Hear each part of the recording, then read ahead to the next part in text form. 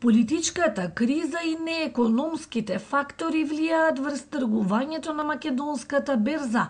Странските инвеститори се се помалку присутни, а пазарот се подпира на домашните.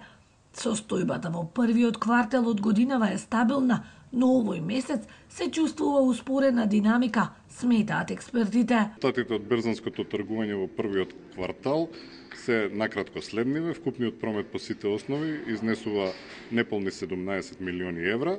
Тоа е сосема задоволителен податок. Тоа е втор најдобар прв квартал во последните 5 години ценовната перформанса МБ10 индексот е пораснат заклучно со вчера за неполни 5%. И светската економска криза последниве 10 години, но и повеќето политички турбуленции на Балканот придонесоа за успорениот промет на пазарот на финансиски капитал во целиот регион. Тоа е криза која заправо може да упути да еден стандардни начин финансирање компанија која имам у нашем транзицијском периоду последних 25 година od Vardara pa do Triglava a, zapravo ukazuje да е, ни власници приватnog капитала još uvek nisu naučili lekcije u smislu mogućnosti koje tržište kapitala pruža. Новитетите и трендовите во фондовската индустрија, колективните платформи за финансирање влијанието на новите технологии во финансискиот сектор се дел од темите на 18-тата годишна конференција на Македонската берза,